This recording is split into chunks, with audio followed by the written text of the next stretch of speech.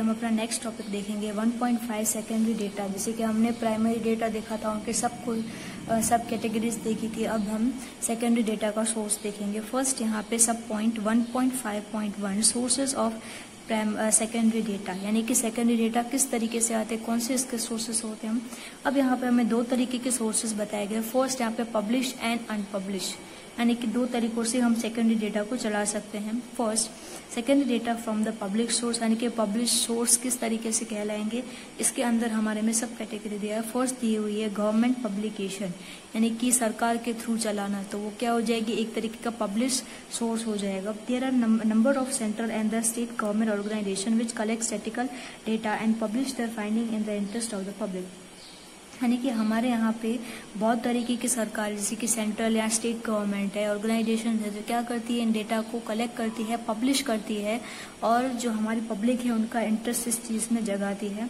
For example centre central statistical organisation C S O national sample survey organisation N N S O जैसे कि हमने आगे भी देखा था ठीक है यहाँ पे कुछ ऑर्गेनाइजेशन संस्था वगैरह है जो क्या करती है, जिनका काम ही यही होता है कि इन डेटा को क्या करना प्रॉपर फॉर्म में डेवलप करना।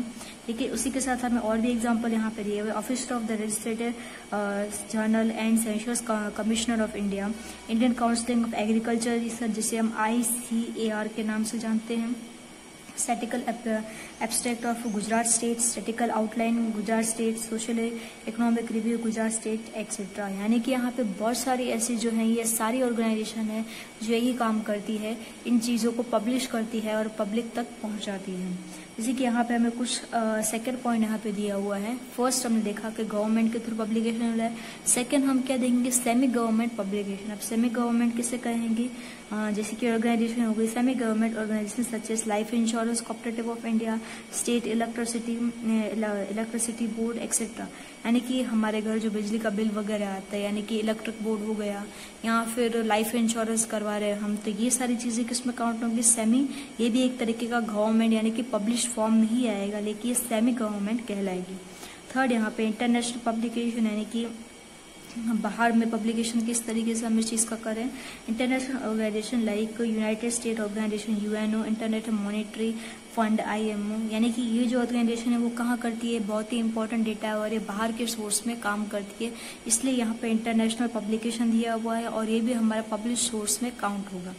फोर्थ यहाँ पर दिया हुआ report of research organisation research institution like Ahmedabad textile industries research association A T I R A इसके नाम से हम जानते हैं physical search laboratory P R L Ahmedabad salt and marine research laboratory Bhavnagar में जो है इंस्टीट्यूशन ऑफ़ इकोनॉमिकल ग्रोथ जो दिल्ली में है national council of applied economic research जो न्यू दिल्ली में है provide data in this publication यानी कि ये सारी ऑर्गेनाइजेशन है जो क्या करती है, हमें एनुअल रिपोर्ट देती है कि किस तरीके से आगे का इंस्टीट्यूशन चलना चाहिए नहीं चलना चाहिए।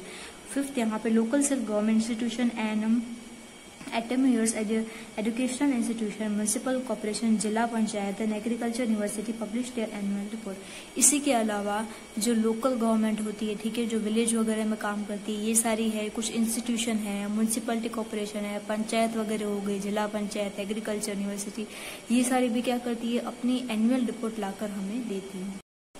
Six point publication of business and commercial organisation. अब इसके बाद जो कमर्शियल कुछ ऑर्गेनाइजेशंस वगैरह हैं जो क्या करती हैं, इसके अपना योगदान देती है। जैसे कि federation of Indian chambers of commercial industry publish are journal economic trend institution of chartered accountant publisher the journal chartered chartered accountant institution of foreign publish journal for foreign trade review यानी कि ये organisation हमें क्या दिखाती है? जैसे कि हमें चार्टर्ड अकाउंटेंट तो नाम सुना ही होगा सीए जिसे हम बोलते हैं तो वो भी क्या करते हैं? अपना रिव्यू इस चीज़ के लिए देते हैं कि हमारी एनुअल इनकम किस तरीके से आई है। अगर ये चीज़ अगर फॉरन में अगर हम पब्लिश कर रहे हैं तो फॉरन ट्रेड रिव्यू के नाम से भी इसे डिनोट किया जाएगा। सेवन्थ न्यूज़पेपर एंड पेरोडिकल्स यानी कि न्यूज़पेपर के थ्रू भी ये इन्फॉर्मेशन जा सकती है। कैसे? Data regarding economic commerce business, sports, etc. can be collected different newspaper and periodical like and political weekly, EPW, commerce, uh, business today, financial express, etc. are also important source of getting secondary data. यानी कि secondary data हमें किस तरीके से मिलता है जो हमारे पब्लिक में दिखाया जाता है न्यूज़पेपर के थ्रू हमें मिल सकता है कि कितनी पॉलिटिक्स है कैसे पॉलिटिक्स चल रही है कैसे है क्या है तो वो सारी चीज़ें हमें न्यूज़पेपर और प्रोडिकल के थ्रू भी हमें इजीली डेवलप मिल सकता है